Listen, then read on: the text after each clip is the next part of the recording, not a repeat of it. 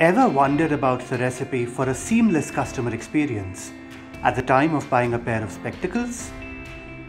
Meet Sarita, a senior citizen who is visiting her sister in Delhi. Sarita misplaces her spectacles on the way. Since she needs a pair urgently, she looks up online for the contact details of an IC store nearest to her sister's place. What follows next turns her helplessness into sheer delight. Here's her story. Sarita orders a new pair of spectacles by simply making a phone call. Because of the prescription and purchase history maintained by the eyewear store, Sarita can avail a number of benefits.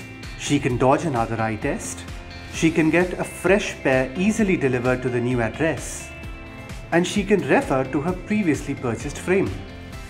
To her surprise, the manager informs Sarita of the exciting discounts applicable on a birthday month, as well as the loyalty points, thus further lowering the final price. All of this makes Sarita a very happy customer.